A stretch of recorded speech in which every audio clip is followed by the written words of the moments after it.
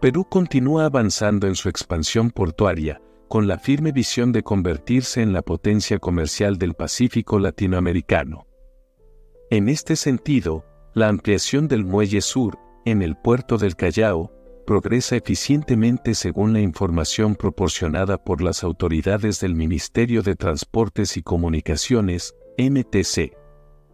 En una reciente publicación hecha por la empresa DP World, se aprecia que las recién llegadas grúas pórtico, provenientes de Shanghái, China, sede de ZPMC, la principal fabricante mundial de estas imponentes estructuras de acero, fueron instaladas hace unos días.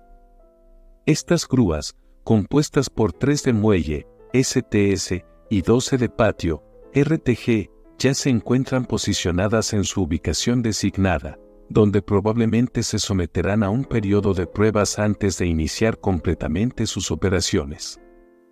Como se observa, el número de grúas pórtico de muelle, STS, ha aumentado de 7 a 10.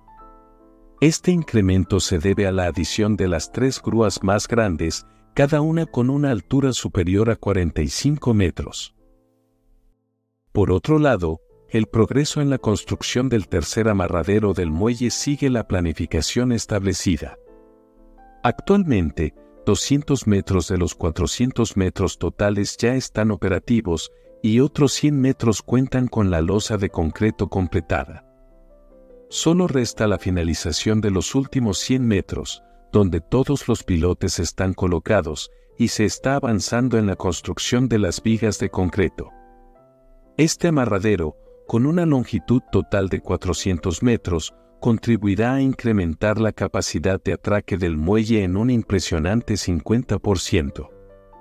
Se proyecta que la expansión del muelle sur esté concluida en abril de 2024, marcando un hito en su inauguración.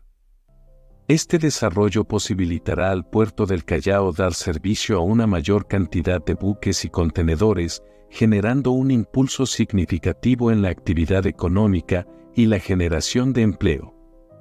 De esta manera, el puerto del Callao se suma a Chancay como una destacada carta de presentación del comercio peruano en la próxima cumbre de la APEC 2024 que se llevará a cabo en el país. Con esta expansión, el muelle sur del Callao se erigirá como la terminal más moderna y eficiente de todo el país, sirviendo de modelo para otras regiones.